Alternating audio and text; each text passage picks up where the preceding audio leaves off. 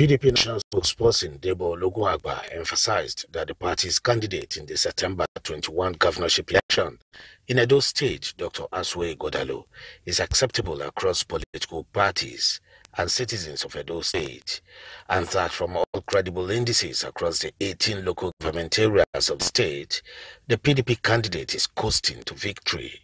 Asue Ighodalo has an agenda tailored towards the policies and programs and missions of the PDP.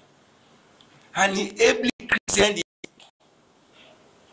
prosperity for all. On the state of affairs in PDP, the national spokesperson disclosed that PDP is not in any merger or alliance with any other political party at the moment. He also reacted to some comments made by the Minister of the Federal Capital Territory and former Governor of Rivers State, Nyesom Wike, that he will put any PDP control seat whose governor gets involved in conflict between him and Governor Sim Fubara on fire.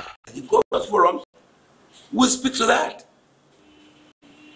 What we know is that anybody, and, I, and this is clear, that there's nobody above this party.